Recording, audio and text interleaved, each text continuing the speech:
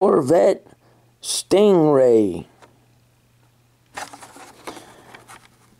HW Mild to Wild Series car.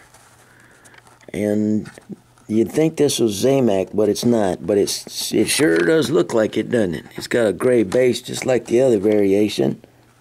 Made in the same year of 2016. These I like the curb I like the curvy appeal on these old Corvettes. They they spell trouble if you'd ask me.